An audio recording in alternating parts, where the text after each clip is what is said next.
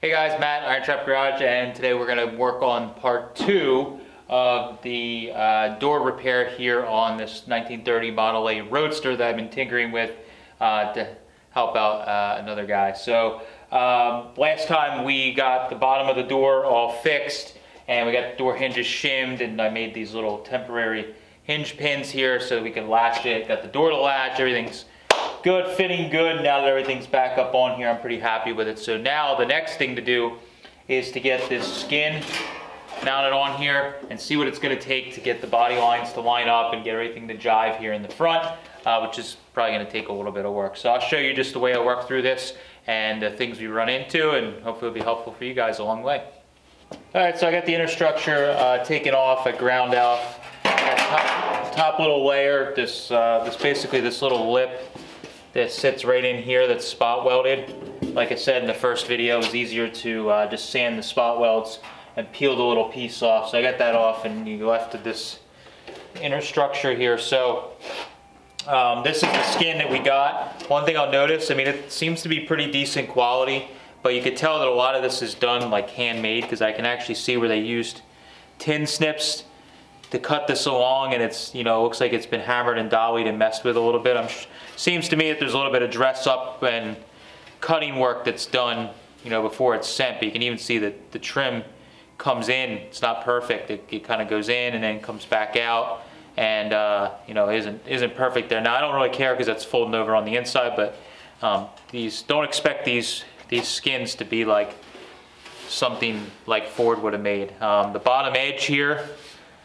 they they roll the bead and they kind of like start the bend, but they don't really fully break the edge on it, so it's just kind of like at a 45, so we got to roll that over. But for now, I'm hoping I can just start test fitting stuff. I'm afraid this bottom edge might become a problem with test fitting because it's rolled in. I'd actually almost wish it wasn't broken, but um, so what we can do is this top edge here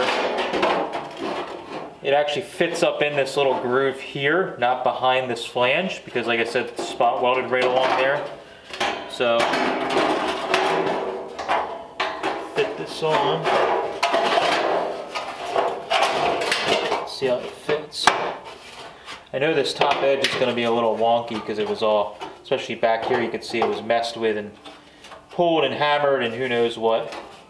So I'd expect that not to be good, but I mean, the skin fits our structure, but down here at the bottom, it definitely needs some pulling a little bit. Looks like the cutouts for the hinges don't exactly match, but maybe I'm wrong here. They're close.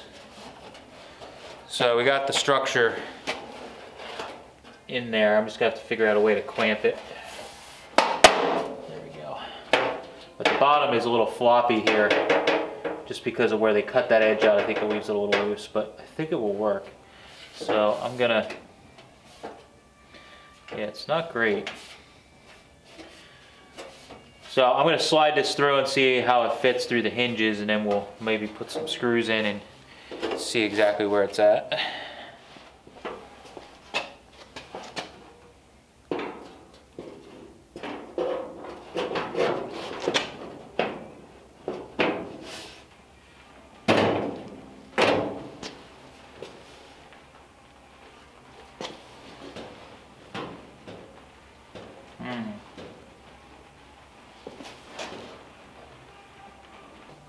All right, so I got the door skin on. I just have the door inner structure and the skin just slid in. I don't actually have the bolts in. They're just kind of like half lined up um, just to do this preliminary check here.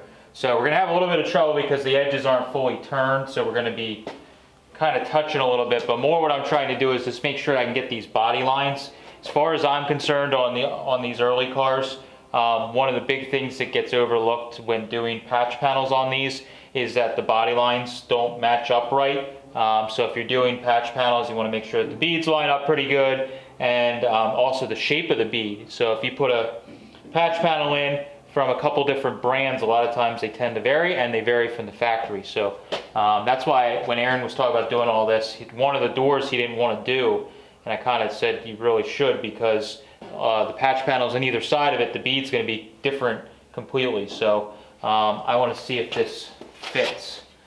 And how it lines up. So one thing I can see straight away here is just this edge where they bend it over um, to fit, that fits in here. It's bent down, but it flares out kind of the wrong way. The, the, it actually should be cut in like this and it's actually flared out that way. This is just normal stuff with patch patterns. I'm not demonizing the patch panel company, um, but there's just little things like that you guys have to expect. So what I'm gonna have to do is actually reshape this corner here at the top. I'm probably gonna unbend it and refold the edge over at like a 45 um, because it's going like this way and the car, the way the cut is in the top of the body, it actually is supposed to go that way. So because of that, I can't even get the door to remotely shut. But just looking quickly, I'm looking like the body line right here is lining up pretty good. I was a little worried that uh, with this door being so tweaked, the inner structure and the body being so out of whack, that I was afraid this body line was going to be like, you know, much different than this. And when we first started on the other door, this body line was like, I forget what it was, but it was like way down. Where here I could see it's it's in the ballpark. Um, down here at the bottom, next to the patch panel that I did, it's really, really close right there. Um, so they're, they're super close and for what this car is, if I can get it to there, that would probably be satisfactory. So it's looking pretty good for the fit of the door as far as the body lines go. The rest of it's just hammering and, and, and dollying and stuff and moving it around. So first thing I'm gonna do is get this door edge here going in the right direction. I'll show you guys a, a shot of it as I mark it. Um, and then we'll rehammer that and change that, that angle quick.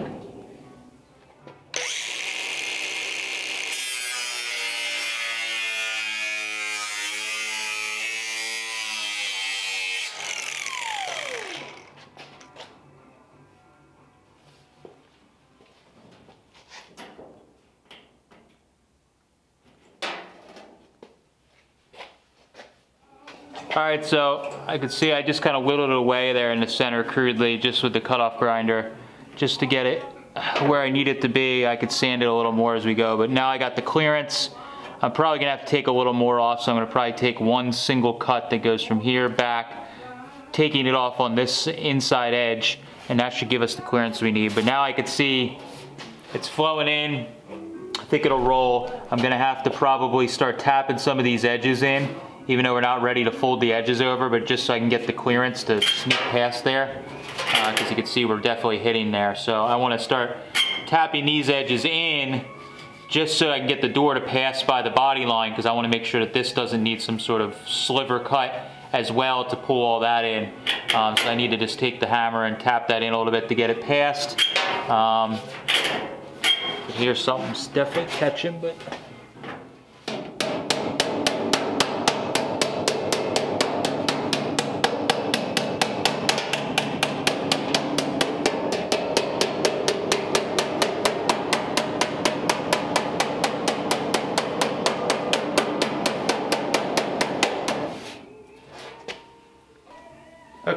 the uh, those edges turned, got the top fitting a little better, and it's basically just touching, uh, the edge of the door is touching on the back side, so we can't close it anymore, but it's right there where it'll latch.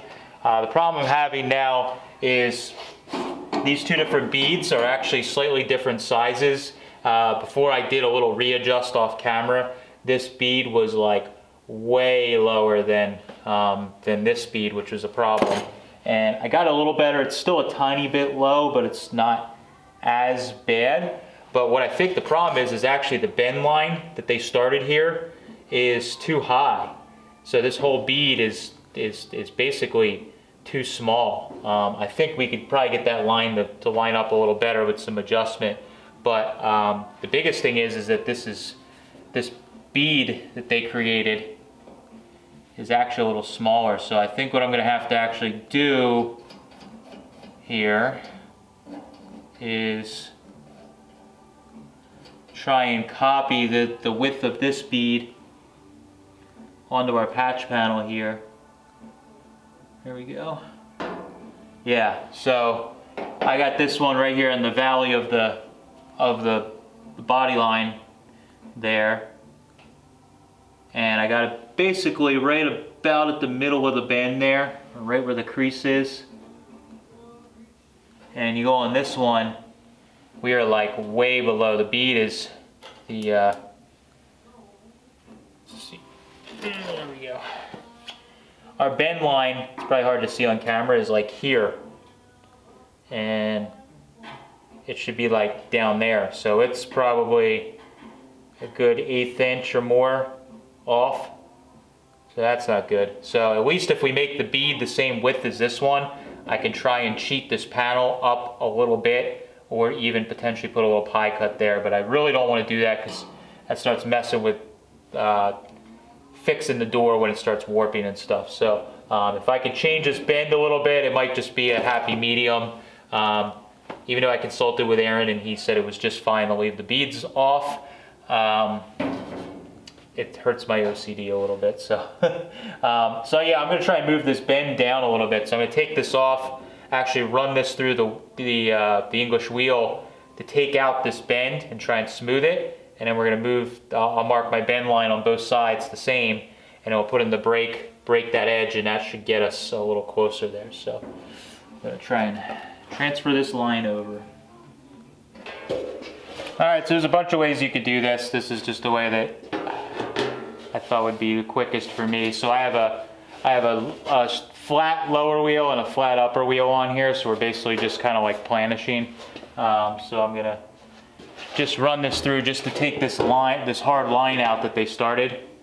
And then we can make a new one without too much problem here.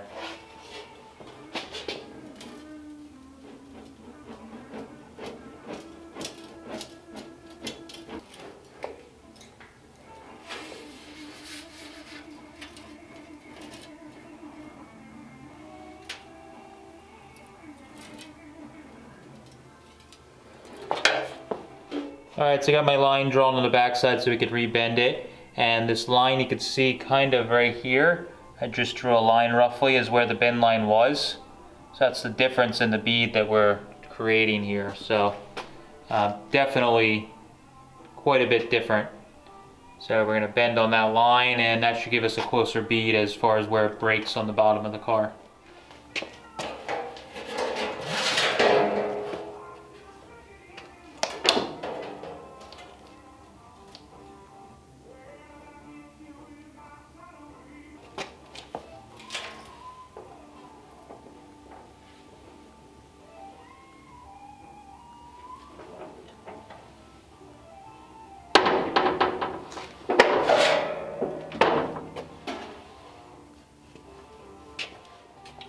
Bent the edge. Uh, I didn't go, I went over 45, but didn't go quite full 90. Um, and I just want to test fit. Let's see how close this bead now matches with the, uh, so I got it hooked underneath there and it is like really, really close. So I think that did the trick here. Just, there we go. I think that did the trick. We're, we're right on. Um, as I pull it, as I bend it 90, it's going to bring it down a little bit, but I think that's just about right, or really, really close. Much better than it was. So I think that's fixed that problem. Now we can start uh, painting up the rest of this inner structure here. I'm going to spray some, clean it all up with a wire wheel and then uh, spray it with some uh, rust encapsulator, get it all sealed up, both inside and outside, then we're ready to start skinning it. All right, so I went ahead and painted the whole inner structure that we're gonna be closing up with some textured Eastwood rust encapsulator. Uh, I like using the textured on something like this because it's a little tougher and uh, it will obviously seal up the rust, but also is a little tough, tougher and that textured finish kind of, I just like the look of it on inner, inner structures like that and hidden areas. I also went ahead and did the inside of the door skin. Uh, obviously, we're not going to get in here and rust proof all this, so I sanded all this down with uh, 80 grit, and then I went ahead and sprayed it with um, with the textured rust encapsulator. Nice thing is you could put it on bare metal, rusted metal, it doesn't really matter, it will seal it all up. So I just used one product for all of those. So now that we know that the door fits good with everything clipped together, what I can do is clip it back together, I'm gonna put it over the hinges, get everything set in place, and I'm gonna hammer some of the edges over on the car just to make sure that everything stays where it needs to go and get it crimped in place in a couple of the corners. Then we're gonna take it off. I'm actually gonna knock the hinge pins out uh, and take it off with the, half the hinges on. Then I can take it on the bench, hammer all the edges over, tack everything, spot weld, blah, blah, blah, do all that stuff. Then put it back on and fingers crossed everything fits. The last thing we have to do at the end here is just uh, is weld up this little sliver that we took out in the top here. I want to wait to do that until I get the door latching and shut and make sure everything fits how I like. Then we will adjust this little top sliver to how I like it, hit it with the TIG, that'll fill it in, and we should be good to go and have a nice door here in a couple of couple of shots, probably a couple hours. All right, so I got the door skin in and I'm pretty happy with how it all fits. Uh, so the first place I'm going to actually uh, start hammering over is in this corner here. The flange that's sticking out is actually hitting as I'm trying to close it and causing a little bit of binding. So I'm gonna hit that over first, check it, and make sure that it it swings and fits okay once that's hammered over and then we'll keep working our way. Uh, this edge here uh, definitely is hanging up and causing a problem so I want to start um, hammering on that, make sure everything clears, make sure the door gap stays pretty good um, and it is livable and then we can keep moving on around the way as we go. Um, for hammers, what I like to use for when we're doing the, when I'm hammering or hemming an edge, I have a couple different ones. So I have, this is uh, I've had these for years. These are old Eastwood uh, body hammers that are fiberglass handles. This is how they come standard. Uh, it's got a shrinking hammer on one end. Uh, I don't particularly like them or use them at all. Um, so what I've done on this one hammer is actually shaped the face of it. So I um, took it and shaped it on the sander and then also shaped this end. So this is a door skinning hammer that's meant for hemming over edges like this. And as it comes standard, it's, it's like a flat kind of wide face. What I've done on this one is made it more of a point so I can get into some tighter areas. Uh, so I use these two, and then I also have this guy here that's got like basically a round, this is an old, I think it's an old Craftsman from the 50s or something, but this is one of the ones that's kind of neat that I have. Uh, has a real small round head on one end and it's got the rounded edge on the other. So again, you can get into some tight areas, but it also helps with hammering and hemming over those edges.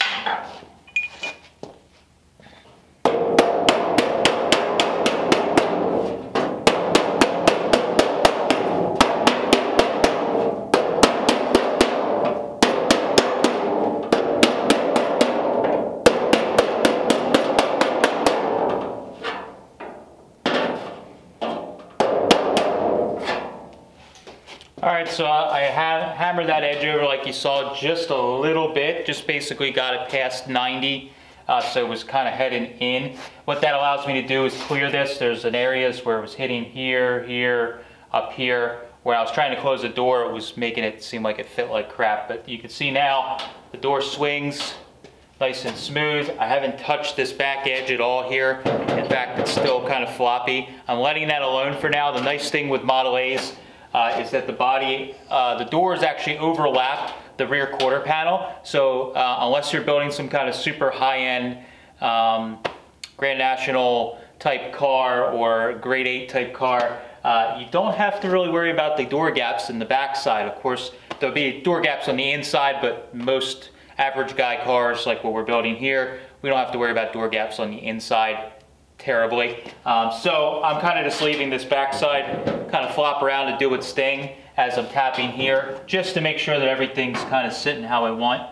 Um, there we go. So I gotta make sure everything, that was, I didn't hammer that bottom edge there and it was kind of unclipping itself. So we gotta make sure this all fits. So, um, so what I'll do from here is to start working on adjusting that bottom edge there a little bit more um, and then we could start working around this other corner, trap it in a little bit, and uh, yeah, we should be on our way.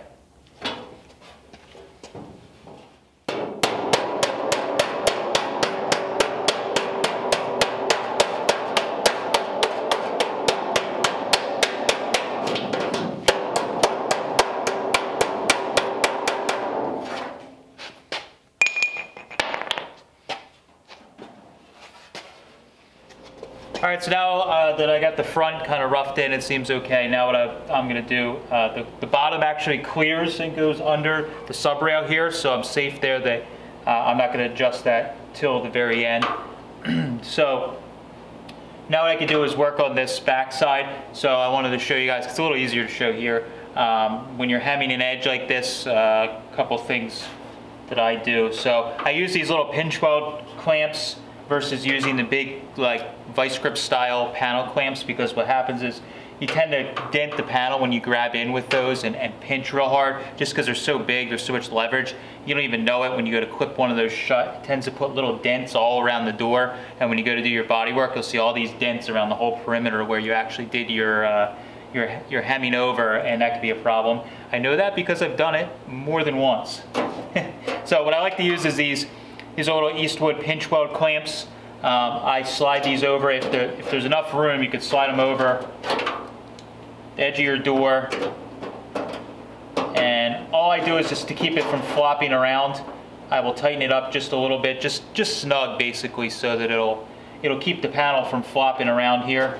Um, I don't want to go too crazy because we don't want to, again, dent the door too much or at all. Actually, at all, I should say, not too much. Ends up happening for us mortals.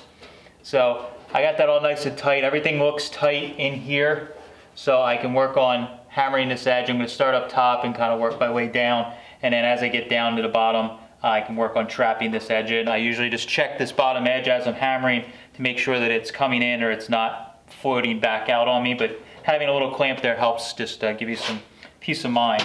So for actually doing the hammering, what I like to do is I have a heel dolly is the one I use most commonly and I keep that on the back side of the panel here like this, supporting where you're hammering. Um, so you can use whichever hammer you choose. This one, uh, again, is how it comes from Eastwood. It's a little on the fat side, so sometimes on doors like this where it's smaller, it's harder to get this in here to get a good swing and you end up hitting where you don't want. So that's why I have the smaller ones, like this one here, and then I have the one over here that I made that's a little thinner. So it just gives me that little peace of mind I'm not gonna hit and damage something, especially on the first, first pass where you're just trying to knock the edge over. So we'll start up here, support the backside.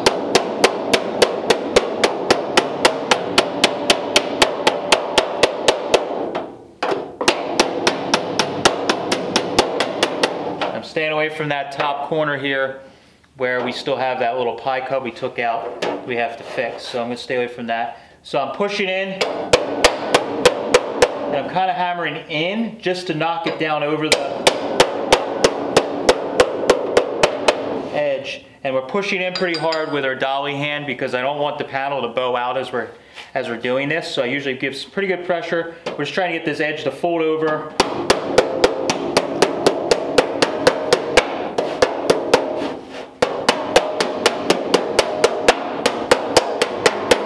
Past 90. Again, I don't usually hammer this whole edge over all the way until I'm really, really sure, because it is a pain in, pain in the butt to get that on unhemmed um, if something goes wrong. So that's why I like to just go around, get it so it's locked in, and I can take it off the car without having to worry about it moving around.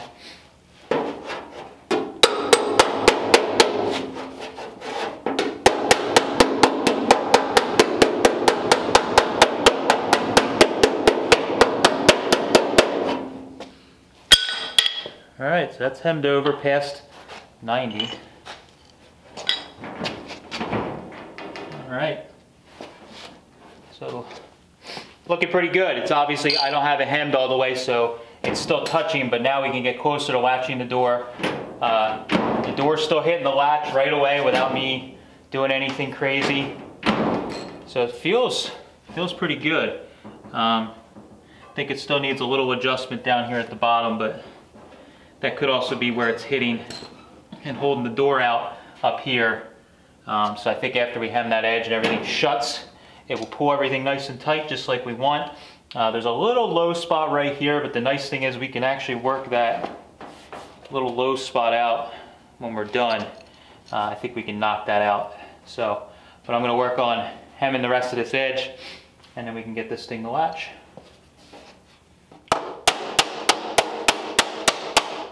So a lot of times what I'll do is I'll put a sandbag on something like this. I have a blanket down on this little, uh, it's actually my sandbag bench, but it works really nice for these little roadster doors because um, I can get all around all the edges. Uh, so I use a, a, sandbag to hold the weight down so that the thing, you know, when you're by yourself, you need a third hand. So I use the sandbag to hold it down and then we can focus on just holding up and tapping these edges over.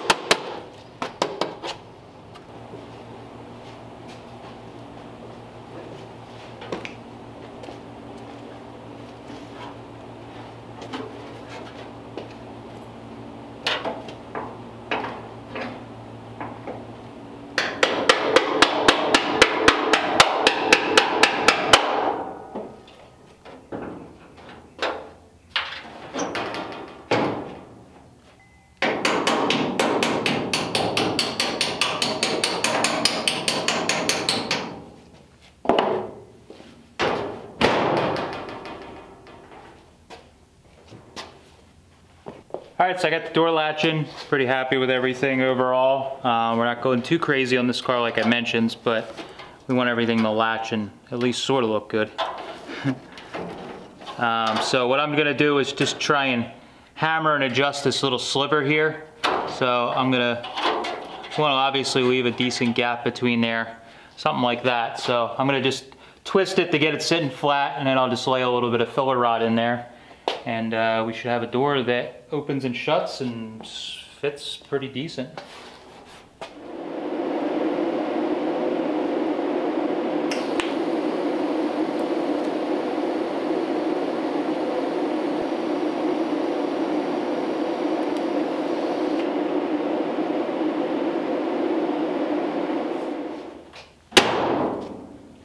All right, so there we have it. We have a non-bullet ridden, wavy, smashed up door uh, that is also not rotten on the inside structure. So uh, this was a long uh, project to fix something like this, and even though this, uh, this took so long, it's still what I would call like 80% good. Uh, you could spend another week trying to make everything perfect on the car and line everything up. Uh, there's a couple little spots in the corners where the patch panels kind of line up and they're not quite perfect. Like I said, with the beads being different, I did the best I could with modifying the, uh, the patch panels to try and make them work together. But the extra like 30 hours to make the door like perfect uh, probably isn't worth it for what Aaron wants to do with the car. So uh, I'm happy with what it is. Uh, if he wants to do a little bit more body work at the end to make it a little nicer, he can most certainly do that. But the major part is done. Uh, the last couple shots he saw me, I was welding up that top sliver that we did. Ended up building up that corner just a little more with filler rod to get it the uh,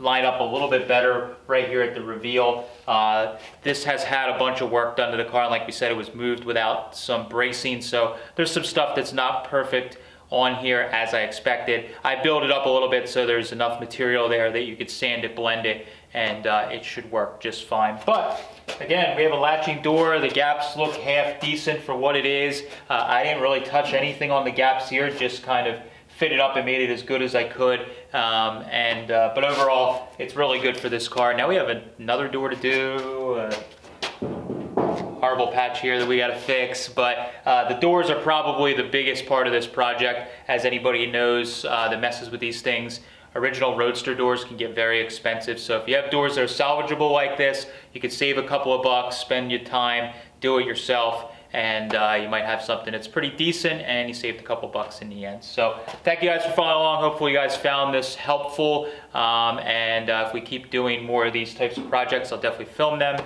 and uh, keep sharing them with you guys. Thanks guys. Catch you later.